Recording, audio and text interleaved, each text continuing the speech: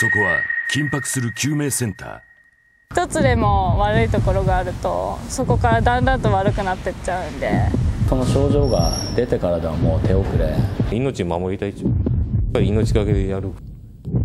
消えゆく命を救う者たち。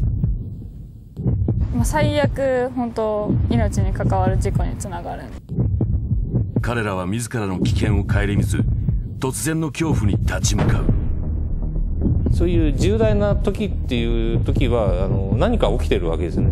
困ったらまずうちに来てもらいたい。命を救う者たちその正体は？お医者さん？お医者さん？だから車にかかることはあの全てやっていくこと思ってます。え？車のこと？そうここは愛車の救命センター。宮島石油販売株式会社愛車のドクター宮島石油で扱うのは石油販売に限らず洗車点検整備板金など。車のサービスに関する全て。でも今やガソリンスタンドは石油を売るだけでは生き残れない。ガソリンだけじゃ飯食えないような利幅しかなくなったんですけど。だからこそ今がチャンス。どうせそういうところに関わってんだったらあの安心安全快適な車に乗っていただきたいと思いますオイル交換の時でも一つ一つ締め忘れとかないかっていうのと、まあ、いろんなとこ劣化とかしてくるんでそういうネジをなんか折らないようにとか。ひたむきにやるしかないですよね。一日でなせることではないんで。ひたむきさの先にあるもの。先輩方が作り上げたその信用がやっぱり今そうなってると思います以外の商品を買ってもらわないことには、まあ、信用とかってないと思うんですよね。ついにスタートラインに立つ。昔からその自慢の手洗い洗車でやっぱりここは他の店と違うんだなっていう感動を提供していくっていう。洗車終わった後に「いやすごい綺麗になったありがとう」とか言ってくれるのが本当嬉しいですね。板金はそうですね。軽い怪我。怪我の専門医みたいな感じなんでしょうかね。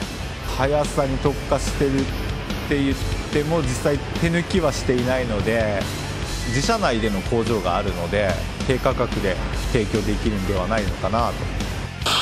これまでの常識にメスを入れろ、まあ、スタンドの車検では多分どこにも負けない。一昔前のガソリンスタンドっていうよりはやっぱりサービスステーション、まあ、安心して乗っていただきたいっていうその思いが普段から伝わってれば、まあ、同じその車検の声をかけた時のやっぱお客さんの印象と全然違うと思うので。気づきですよね。タイヤの目がないっつうのは言われて初めて気づくという教えるような人材を作るにやっぱり人作りだと思うんですよね。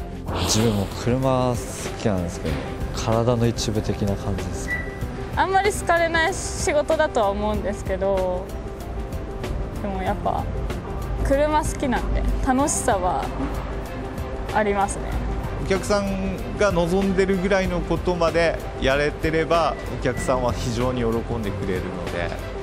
やっぱ感動していただいたお客さんって絶対最後すごい喜んでくれますしスタッフのモチベーションにつながっていくと思うのでいろんな人と出会う機会をいただいてなおかつね商売をさせてもらってお礼をやるんだからそれ以上の魅力はそう思い浮かばないですよ目指すは頼れる愛車のドクター安心カーライフをサポートする宮島石油販売株式会社。